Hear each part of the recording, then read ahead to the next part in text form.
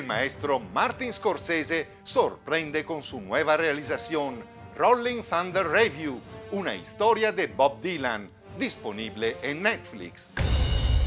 Summer 19... Es este un magnífico documental con matices de falso documental sobre una gira que se llevó a cabo en 1976 el legendario cantautor Bob Dylan viajó por Estados Unidos ofreciendo conciertos a veces en sitios muy pequeños, donde compartió el escenario con varios artistas, poetas y músicos de la época como Joan Baez, Johnny Mitchell y Allen Ginsberg.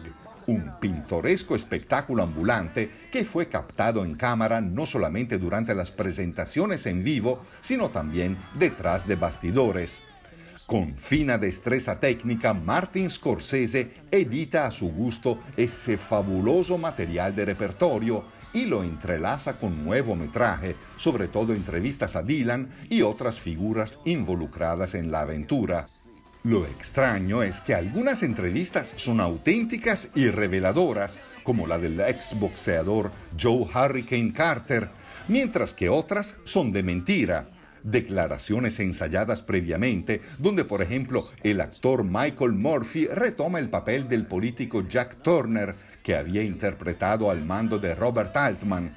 Asimismo, Sharon Stone relata una anécdota que probablemente nunca sucedió.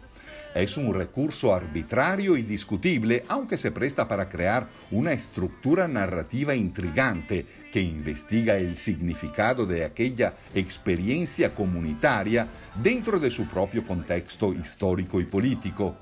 Como lo indican los créditos finales, las exhibiciones del Rolling Thunder Review representan una pequeñísima parte de la enorme cantidad de conciertos que Bob Dylan amenizó a lo largo de su carrera esta película captura la unicidad de ese evento con un estilo igualmente único, aunque por supuesto su virtud principal es la música. Consigna a la posteridad una muestra invaluable del talento de Bob Dylan en el apogeo de su arte. 9 para Rolling Thunder Review, una historia de Bob Dylan por Martin Scorsese.